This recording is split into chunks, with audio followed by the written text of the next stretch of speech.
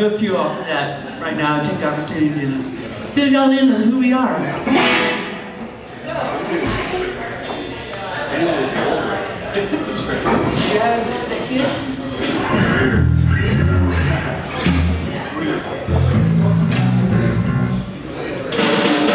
This is kind of the story of my life.